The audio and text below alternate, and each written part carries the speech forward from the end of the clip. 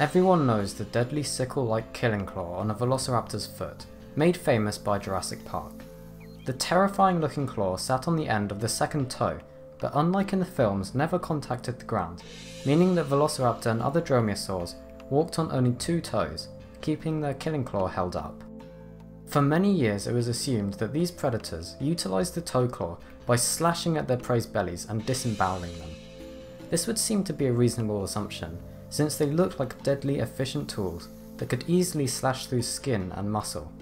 In addition, these toes would have had many flexible joints when the animal was alive, allowing the digit a wide range of movement from above to below the other toes, so the animal could perform a slashing movement.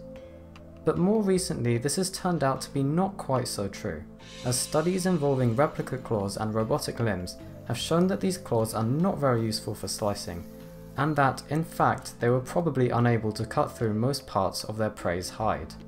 So, what were the claws used for?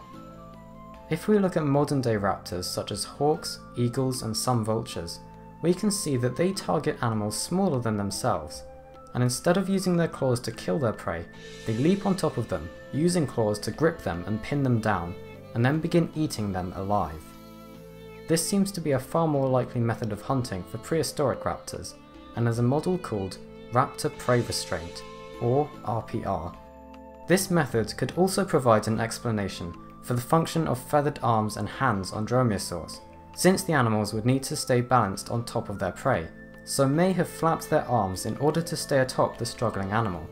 The long counterbalancing tail of many dromaeosaurs would also have been useful in keeping the raptor in position. So, instead of killing their prey with threatening claws, it's far more likely that raptors killed using their teeth, but don't think that this is any less frightening. Imagine a large dromaeosaur pouncing onto a smaller creature, flapping its feathery arms and mercilessly pinning the other animal onto the ground with their sharp claws and then beginning to slowly eat its prey alive. Thank you for watching this video, I hope you enjoyed it and learned something new. Remember to subscribe to the channel to see more videos like this one, and you can also follow me on social media.